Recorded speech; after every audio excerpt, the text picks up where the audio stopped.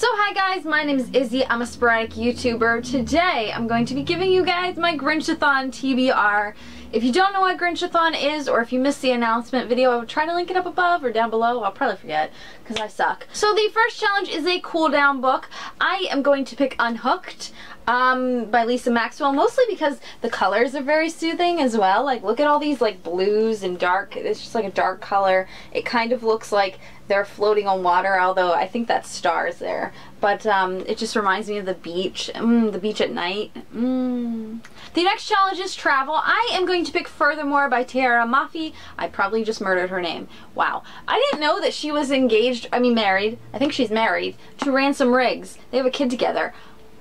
Have I been living under a rock, you guys? Like, what is going on? Anyway, I'm going to pick this one for my travel book um, because in this book, um, the main character is going on an adventure. She's traveling to try to find her father, I believe, and to bring him home. So it even says travel through the mythical dangerous land of Furthermore. The next challenge, challenge number three, is dark. Something dark, something creepy, or with, some, with black on the cover. You know, we manipulate these however we want.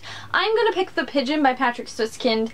I absolutely love Patrick Suskind's writing style. It's just great. So I'm, um, he wrote one of my favorite books of all time, which is actually On Love and Death, which is nonfiction. And I just, I love it so much. So um, this is what I'm going to pick. This is supposed to be super, super creepy and eerie, and it's supposed to be, like, similar to, like, Edgar Allan Poe-like terror. That's what says here. So, we shall see. I'm really excited to get to this one, though. So the next challenge is Immigrants. For this challenge, I am going to read Watched by Maria Budhos.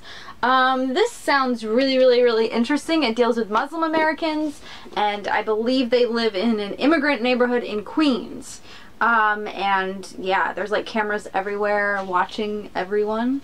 And it sounds really, really interesting. Also, if you are looking for an amazing book that deals with immigration, I recommend the Book of Unknown Americans. Um, these, this is a beautiful, beautiful book, one of my favorite books, and it deals with a family who picks up and moves from Mexico to the U.S. Um, to have a better opportunity for their daughter who ends up mentally handicapped after an accident. And it's a really, really beautiful book. It's amazing and it's everything and I really, really recommend you go pick it up um, if you're looking for one for this challenge. See if your local library has it or whatever. It's beautiful. It's a really great book. Really recommend. The next challenge is a read an LGBTQIA plus book. Um, uh, basically a pride book. It could not even have be an LGBTQIA plus book and feature any of that. It could just be a book that looks pride-ish. That maybe it has rainbow on the cover. Maybe it's rainbow colors that that's enough for me. Um, but for this one, I'm going to pick Leah on the Offbeat um, by Becky Albertalli. I've purposely been saving this for Grinchathon because I'm really, really excited about it and I've just been saving it. The next challenge is a hard topic.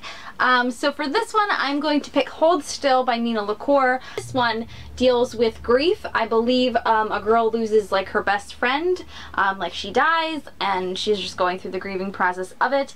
Um, we Are Okay also dealt, dealt with grief and is a beautiful, beautiful book. If you're looking for something that deals with a hard topic, I feel it is like one of the most accurate portrays of grief that I have ever ever read. So the last challenge is a random pick. I I'm going to pick uh, The Austere Academy. This is book five in the series of unfortunate events. So there you have it. That is my TBR for my readathon. I am really excited. Hopefully I can get to all these, but if I don't, it's no big deal. My readathon is super laid back. The number one thing is not to stress. the at Grinchathon Twitter will be where all the Twitter sprints will be happening. I'm not sure what I'm gonna do. If I'm gonna, I might make like a formal schedule, and then if I feel like doing extra random bouts throughout the week, I'll just, you know, hop on there and talk talk to you guys. If you make a TBR, please let me know in the comment section below so I can go check it out.